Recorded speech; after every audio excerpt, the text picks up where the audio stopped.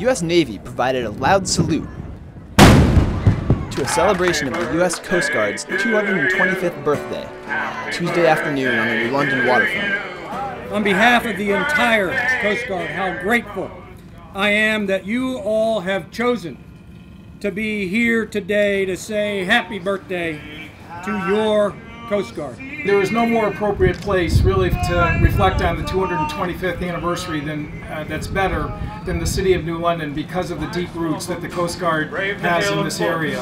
Led by Doug Monroe, time and time again.